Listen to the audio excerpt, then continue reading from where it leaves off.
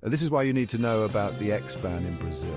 It's a clash of Silicon Valley and South America. The social media platform X, formerly known as Twitter, has been banned in Brazil.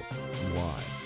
Owner Elon Musk refused to comply with court orders to remove content deemed harmful by the Brazilian government.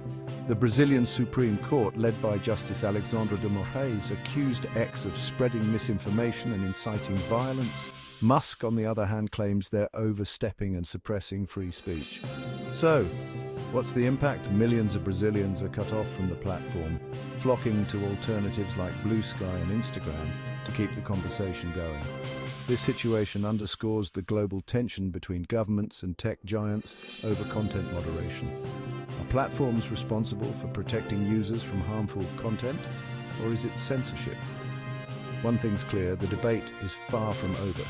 Stay tuned for more updates on this unfolding story.